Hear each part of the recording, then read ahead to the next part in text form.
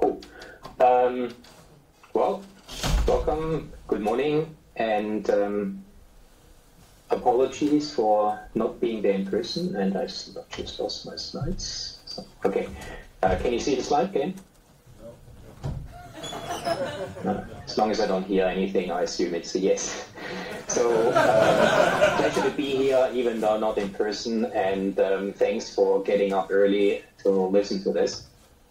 Um, it's four years since I last gave a talk at FOSDEM, and at that time, seL4 had just been open source, and a lot has happened in the meantime. So I'll give you a bit of an update, and in the end, talk about where the community is at. So this thing uh, represents one of the more exciting things that has happened with seL4. Yeah, This is a, yeah. We don't see your slides. Is this intended? No, it's not. Oh God. Ah. Okay. Maybe uh, you, you may toggle back to full screen. I think it was, it was not full screen. It's Okay, for some reason stop sharing. I'll share again. Your screen sharing. yeah, yeah. Now we see it. You should see something. Yeah. And So now you should see the slide. yeah, fine. Full screen. Yeah. So I Okay. deactivate the microphone again. Okay. Yep. Um, okay. So this is one of the things that happened recently. Um, what you see here is a Boeing helicopter flying, and it's not just flying, it's flying autonomously. There's a pilot on board for safety reasons because they don't get FAA approval to flying it without, but it's actually flying totally autonomously. Um, this is a in, around Arizona. And of course, the exciting thing about it, it's flying on seL4. Um, what's even more interesting is some of the history here. Uh, so this is a military-grade system. It's actually a defense system. And you should think it's reasonably secure. But turns out that uh, professional pen testers took about two weeks to completely audit it and they, they could completely control the flight. They could have crashed it or diverted it or whatever.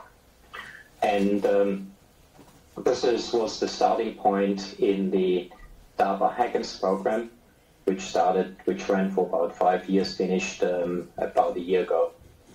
And what we did with our colleagues there is convert the system to SEL4 and make it secure.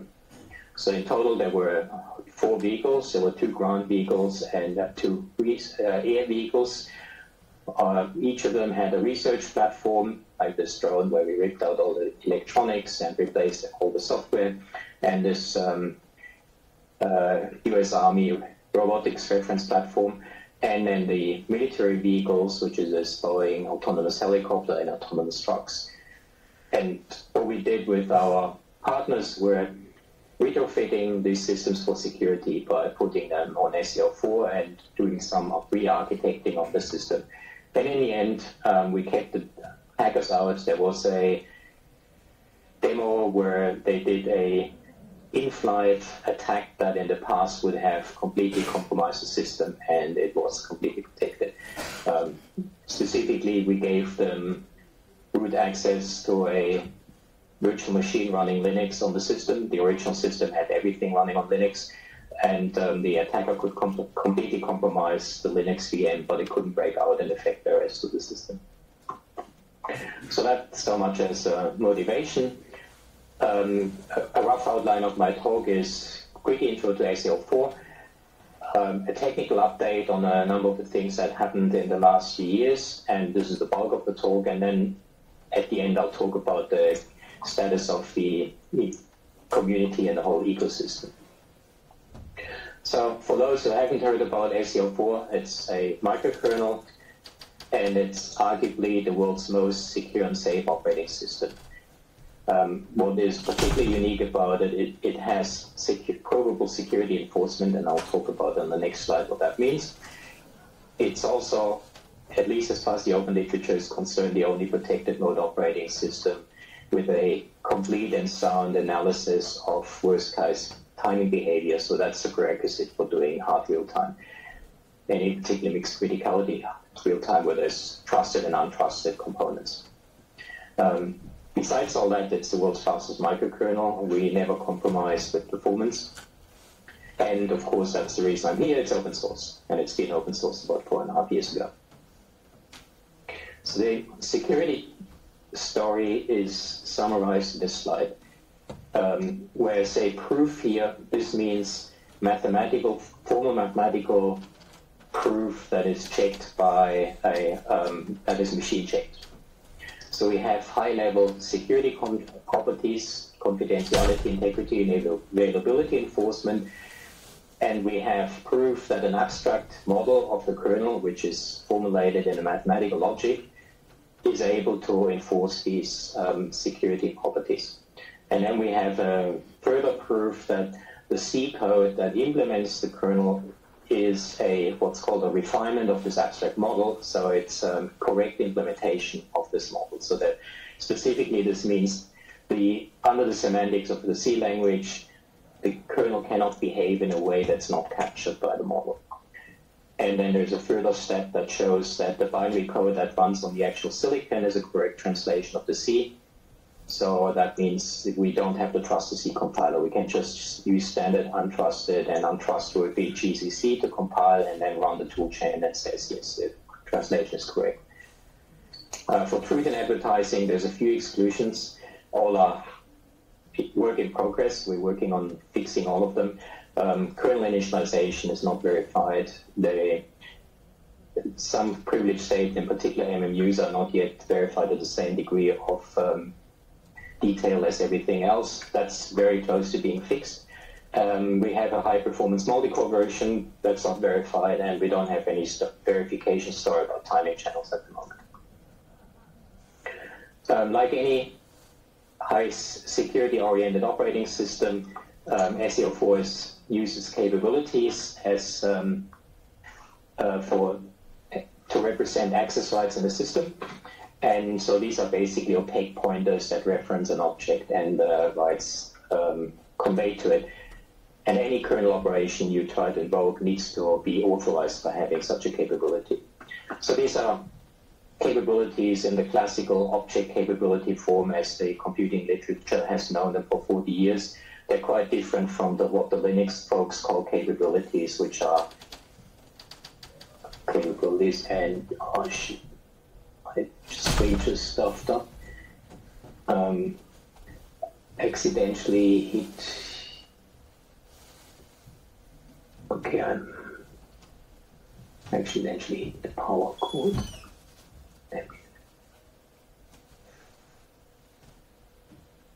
Okay, okay.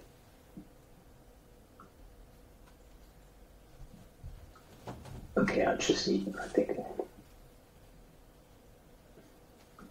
Ah, okay. Can you, hopefully you can see the slides again, full screen. If not, please, yeah. Okay, good.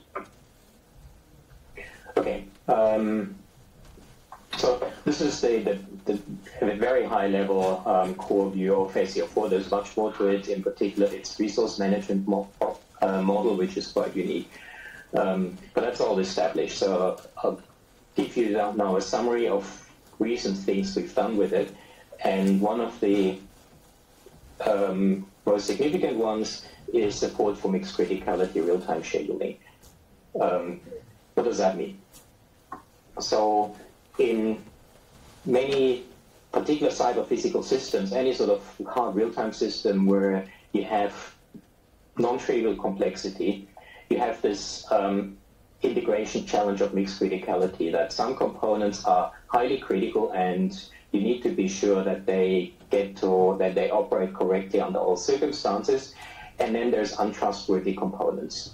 So a very high abstracted view of this um, UAV has a control loop which is highly critical because that's what keeps the thing flying and stops it from crashing and then there's other components for example there's networks and so there's a network driver that uh, talks to the ground station, for example, or other communication. And obviously, that one is not critical. If um, the communication stops working, then the thing will just fly to an endpoint, um, to a waypoint, probably has some fail-safe logic to fly home or something. Um, the challenge here is the control loop is really slow. It runs of the order, it, it runs on human time scale, so order of 10 to 100 hertz. Um, the network driver, of course, is really fast. It, uh, networks like to be serviced within sort of microsecond um, time scales. And that means that this network driver needs to be able to interrupt the control loop. It just can't wait for the control loop to finish its 20 millisecond execution because it loses a lot of network uh, packets. So you have to be able for these less critical components to preempt the critical ones but still guarantee enough time for the critical component to do its job um, for, for the safety of the overall system. So that, that's the, the core idea of mixed criticality systems. What makes it challenging is that there's sharing involved. So typically in our UAV, there's uh, the vehicle control. It tells the vehicle where to fly to, so it has to access waypoints. These waypoints they get updated by the navigation system, for example, uh, based on what the video processing tells the system or updated from the ground station. And so the two, the trusted and young, less trusted parts sh share this critical data. And the vehicle control needs to be access, needs to be able to access um, data that is consistent even while the navigation system may update it. And um, you need to do that on, on the same system. A simple way to implement something like that is by what's called a resource server. So we have the, the two components that use this um, waypoint data to control the critical control loop and the less critical navigation system. And the waypoint data is in encapsulated in a server which can be invoked from those clients. The navigation system might invoke the client to update waypoints, and the control system may invoke the uh, the server to read the waypoints. So that's all fine. Um, and um, as long as the server is simple enough and fast enough, that may be not a big deal. The problem is, particularly if the server has some longer running operations, then we need to count the time properly because otherwise the navigation system, which as I argued before might be running at higher priority, um, can just DOS the critical system by sending lots of requests to the server. So we need to ensure that time is, is accounted properly. And in the new version of seL4, we do we use capabilities like for every access control in the system, we introduce capabilities for the right to use processor time. So a classical thread will have a priority and a time slice. In the new seL4, we have a priority and a scheduling context capability, which is this capability to a scheduling object, which is um, encapsulates the right to access the CPU.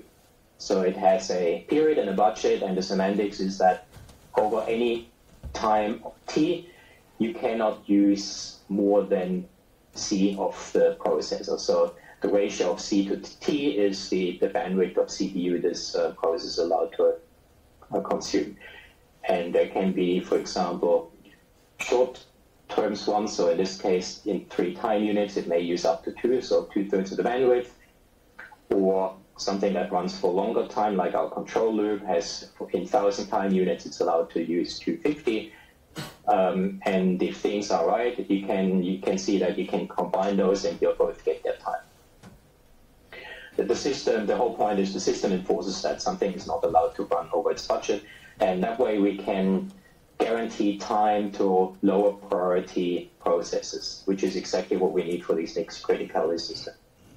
So, and the way this is done is by being able to borrow scheduling context. So in the case of our resource server, if a client invokes a server, it passes along its scheduling context. The server is then running on the client's scheduling context, and the server time gets charged to the client. When the server finishes its job, the scheduling context returns to the client, and it now has the server time um, uh, charged to it, and therefore we can prevent this client to DOS the server and force something else um, to miss its deadline.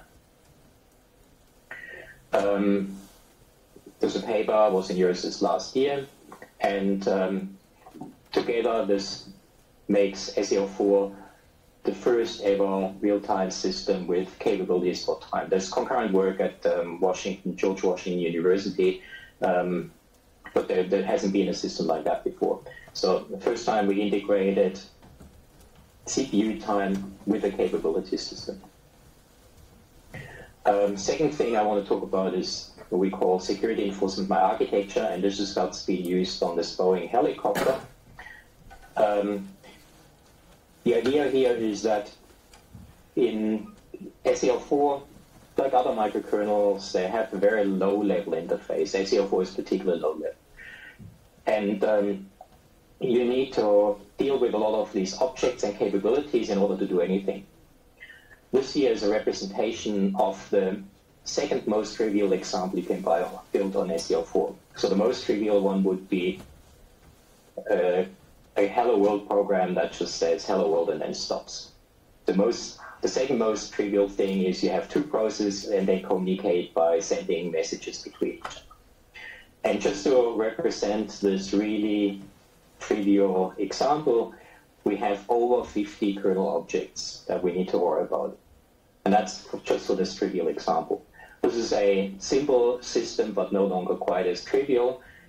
Um, each point represents an object and a capability, and you can see there's hundreds if not thousands of them just for a relatively simple system. So that's not a good abstraction level to reason about in the system. So instead, we have a component middleware called CAmkES. Uh, that's not particularly unique. Um, for example, Genode is a, in many ways, much more general component middleware. Um, but CAmkES has some assurance story which you don't get with others. Um, so in this case, we have, in this CAmkES world, we have components that are represented by boxes and connectors that are represented by lines between those boxes. And there's three different types depending on whether you have synchronous message passing, um, uh, semaphore-like signaling, or shared data. And sort of the, the top two boxes and the RPC connector in between basically represents this um, second most trivial example I talked about before. So a, a much more high level representation. And the, the beauty of this in this CAmkES system is that we can provably reason about the system behavior on this CAmkES representation and it gets correctly mapped onto SEL4. So the way this happens is um, I'll demonstrate that it's, this is example. This is a highly abstracted view of our UAV architecture um, and it has some untrusted stuff in a Linux virtual machine. And the, um, the, the one of the core security properties of the system is that Linux is only able to talk to the rest of the system by using encrypted traffic, so only via this crypto library. And we can do that by saying, okay, it's not connected to anything else in the system except this one line that goes to crypto. Therefore, we know that if we can, if we can trust this crypto component, then we can assure that Linux can't interfere with the rest of the system. So this is our highly simplified CAmkES view of the system. And in order to build the actual system, of course, we have implementations of these components. So each of these boxes has a implementation that's typically in C. So there's a driver, multiple drivers, um, the virtual machine, etc. And of course, that gets all compiled and linked together. Um, what is missing here is the so-called glue code, which is the operating system calls that enable these communications, so where they do the message passing specifically. And what this glue code needs to look like is completely specified by this architecture view. So we can generate this glue code, which is again, that's not particularly new, that's uh, what any IDL compiler does, they've been around for centuries. Um, but in our case, we have proof that the glue code that's generated is correct in the sense that if you invoke a, a function in a component, then this is semantically equivalent to just directly invoking this, this function in the same address space. So that's sort of a very strong correctness property of this glue code. What we also get is from this um, CAmkES representation, we can generate the low-level SEL4 representation, so the, in terms of SEL4 objects and capabilities. That's represented in a form formalism called CAPDL for Capability Description Language. And again, we generate this automatically from the CAmkES and again, this generation is provably correct. And that means when we have the system in this, this low level, if this low level um, diagram represents the actual seL4 system, then we know that we can reason about the system according to this high level depth diagram by these boxes and lines represented in the CAmkES, CAmkES formulas. And the final step is how do we get the system in this state? We also generate the initialization code that gets the system into that shape. So we have a um, automatically generated code, which is the init, init task in the system, which will create all these objects, distributed capabilities, and then we know the system is in a state that's correctly represented by this CAmkES um, representation on top. And that means we can now do all the reasoning about the properties of the system in this CAmkES formulation. There's some um, limitations at the moment. Not all the proof stories are completely uh, complete yet, but this is ongoing work that's funded by another DARPA program, and um, it will be finished within the next few years. Um, and if you're interested, there was an article in Communication of the ACM just last October that describes all that. And then there's also tools where this gets tied to a formalism called Architecture Analysis and Description Language, which is an international standard, um, and that's used a lot in the avionics industry. And there's Eclipse-based tools, etc., which and um, the whole language is designed for doing safety cases, and there's analysis tools and all that stuff. And you can use that framework and generate the CAmkES representation from that one although that generation is not proven to be correct and it's unlikely to happen in the near future. And these uh, tools are provided by Rockwell Collins, they're all open source. So that was the, the second thing that's sort of relevant for seL4 in recent developments. And the third one is, okay, we have a verified kernel, but of course the whole system is more than a kernel. Even the trusted computing base of the system is much more than a kernel. So typically you have some critical components. There may be some devices you need to, where you need to trust the drivers. You may need to have a trusted file system. You have your control code, etc. And um, all these, if they need to be trusted, ideally they really should be verified. And of course, 11 person years was what we invested in verifying the kernel. Um, all these components of the order of thousand to tens of thousands of lines of code and um, 11 person years for 10,000 lines of code and it scales quadratically, that doesn't sound like a particularly attractive way of doing things. It was okay for the kernel, but for doing things on top, you want better productivity. And this is why we're developing the Cogent framework. So Cogent stands for Code Improved Code Generation, and it is a language framework for building high assurance components on top of SEL4.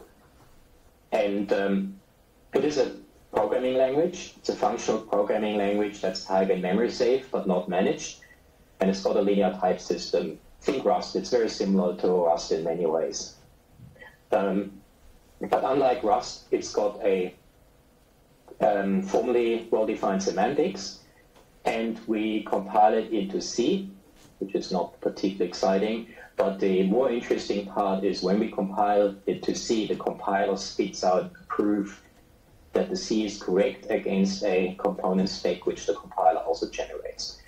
And then we know, okay, we have a correct implementation translation of this code into C, which means that as long as we trust the compiler at least, can reason about the correctness of our code at the level of the Cogent semantics, and we know that the C translation will um, will maintain that semantics. Um, like Rust, the language is restricted. That you can't program everything in it. It's it's intentionally Turing incomplete. So we need to complement it with abstract data types. So these are things like um, for file systems, we have abstract data types for implementing red-black trees, etc. And the idea is these need to be manually verified. So in the end, you have an overall high-level abstract specification of the complete functionality of this component. Um, you have these abstract data types which um, can be verified independently, and the idea is they're highly reusable. And then you're left manually verifying the Cogent code, which is much easier than verifying C code because of the properties of Cogent language, the fact that it's type and memory safe, that it's um, purely functional. And so that's the key for increasing the productivity of verification. And we've done some case studies, a number of file systems. Um, there's a paper out there that's about three years old now that describes it. And what we found is that, okay, um, the productivity um, story is not too bad. So we get a cost per in, of verified code in terms of dollars per line of code. That's about a factor of two less than what we what our cost was for seL4. Now the cost for the complete verification story for seL4 was about three or four times as expensive as the earlier Pistachio microkernel, which was an earlier L4 microkernel that was developed in a very similar context by people, university folks who sort of had experience with microkernels, etc. So it's quite a comparable system. So seL4 with its complete verification was about a factor of four more expensive than this earlier system that had no verification story at all. So that means if we get the cost down by a factor of two, we are competitive with non-assured traditional engineered code. And it seems like with our Cogent approach, we already got half of that gap. We got a factor of two. And the fact that the reason it's not more has a lot to do with the way Cogent, the initial version of Cogent was done. It was fairly restrictive. It you get forced to do a lot of um, boring, repetitive stuff, etc. And this is what we're working on at the moment. And so the, with the ultimate game of having something that really allows you to write systems components and verify them at a cost that's comparable to classical unverified C code. So another interesting aspect is that, okay, when you have this Cogent implementation, presumably, ideally, you want to verify that, but you can actually play a trade-off of dependability versus cost. We could, for example, say, okay, it's a safe language, and therefore that reduces the number of bugs already significantly, and maybe for something that's not ultra critical, that might actually be enough. And then you have, um, you just need to write the code, and you have already code that you know is going to be better than the equivalent C code if it was manually written. And then you can do automatic testing, in particular this called property-based testing, which is something that comes out of the Haskell world, where you have a formal specification of your functionality and it generates test cases automatically from that. And in particular, it exercises the interesting bits, so corner cases, etc. And that has been, um, turns out, is a very effective tool for getting code pretty much correct very quickly. And then, of course, you can do model checking. And then finally, you can do the full functional correctness proof by theorem proving as we've done it with seL4. So there's a um, hierarchy of increasing assurance, but also increasing cost, and you can pick your point. But one of the interesting aspects of that is that this property-based testing has an interesting compatibility with our full functional correctness proofs in the sense that it uses, it requires a formal specification. And the formal specification can be reused with the full functional correctness proof. So that means um, you can use quick checking for um, properties-based testing for actually developing and debugging your spec, because specs have bugs as well. And it's much easier to verify against a correct spec than an incorrect one because um, any any bug in the spec will send you down some red hole, which you need to dig out after a while. So starting with a more or less correct spec is a big win. But also verifying correct code is much easier than verifying buggy code. Um, and so eliminating most of the bugs with uh, property-based testing before you start verification also reduces cost. Um, so there's, there's a whole bunch of um, trade-offs that can be played, and this is all only at the beginning.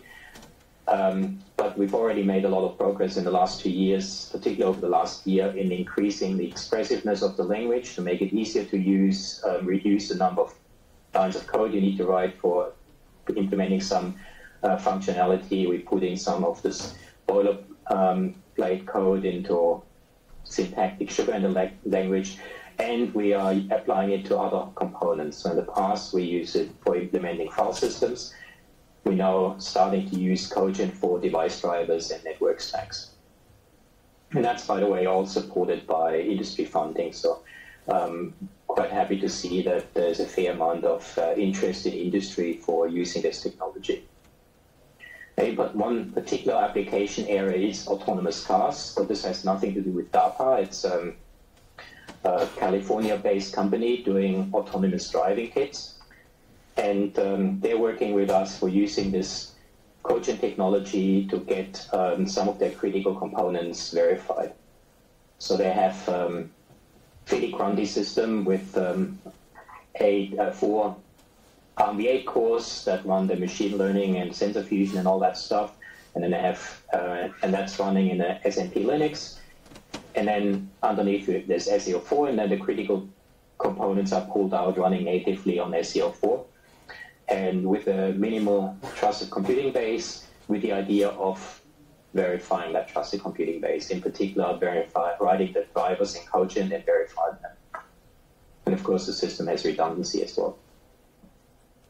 So this is um, some of the, I think, relatively exciting developments that are, have been happening around or are happening around seL4.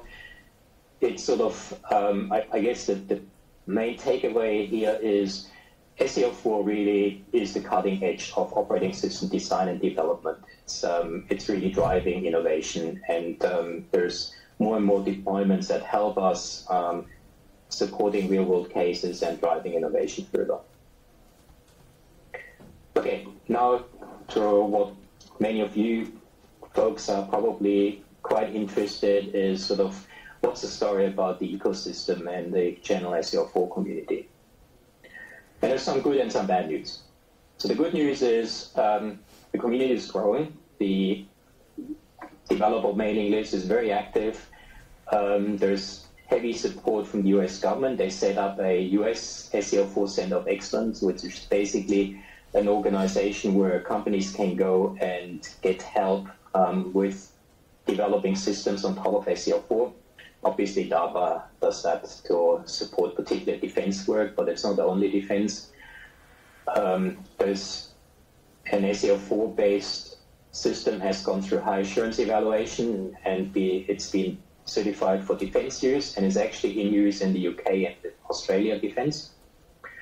Um, but it's also, to me, particularly important aspect is we're getting out of the, the just the defense space into safety critical systems. And this is um, reflected in the amount of commercial funding we're getting for seL4. So these are companies, some big, some small, some very big, putting real dollar on the table to help us develop the seL4 open source system and the frameworks around it.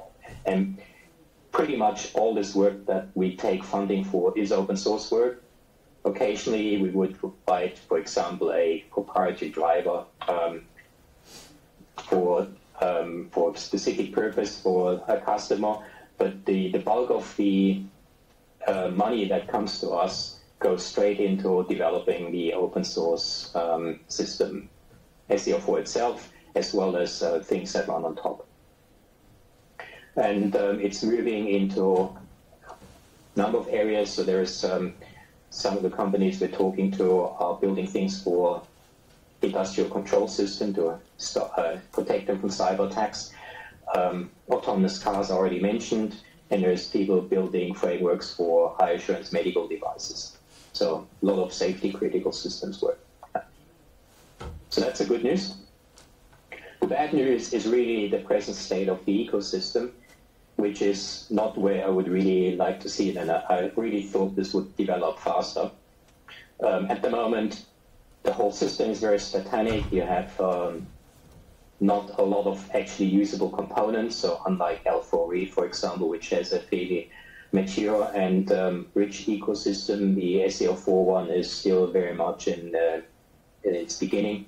Um, there's more components around that people are aware of, but it's poorly documented, hard to find. Um, some of them are supported, most are not, and this is something we really need to change. There's definitely a shortage of tools, so we would like to see people developing more tools. The Center of Excellence is doing some of that, but we really like to see an open source community doing this. And part of that is really because um, we have to blame for that. Um, we, our community engagement is just insufficient.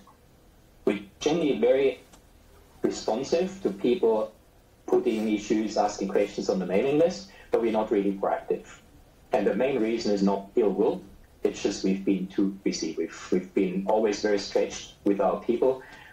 Um, hiring really good kernel OS developers is hard, and we've been recruiting for years and um, with varying success. Just recently, it's been pretty good. We hired a number of people, um, but basically, just getting enough people in is a bottleneck, and it's, it creates a chicken and egg problem, right? If we had could we, if we can make more use of the community, then obviously that solves part of these problems. But in order to bootstrap that, we need to invest and engage with the community, etc. And we've just been too busy in the past to do that.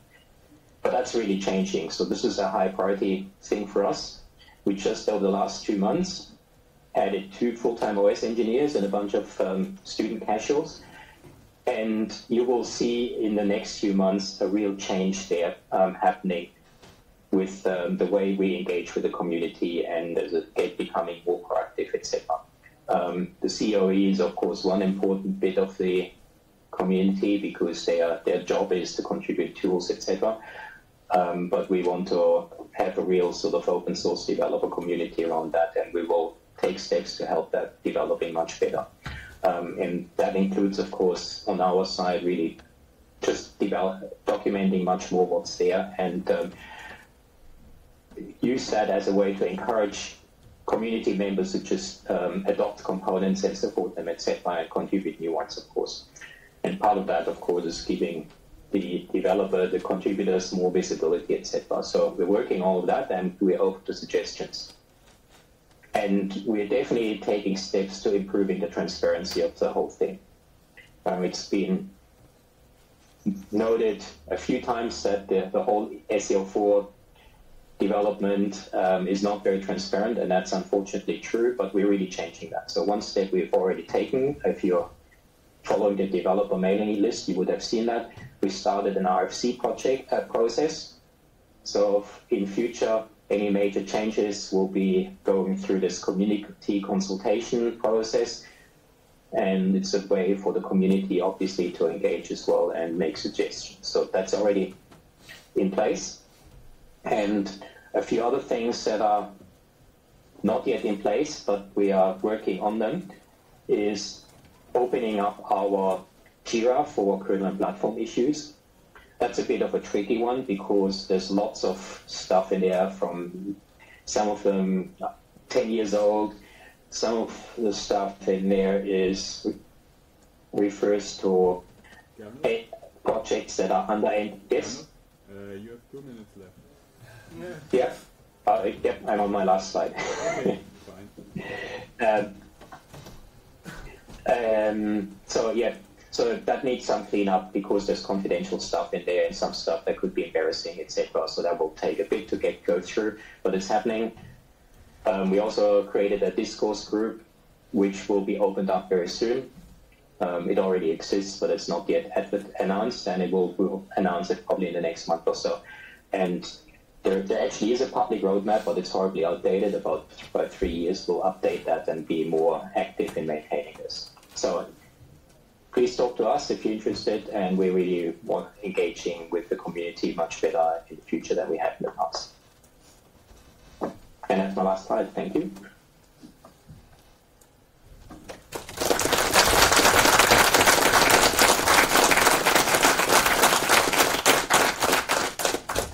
Yeah. I think we try uh, questions and answers. No? Two minutes. Yeah. Let, let me unshare so I can hopefully see. Um, okay, any questions? Maybe I try to, trans to, to translate them into microphone.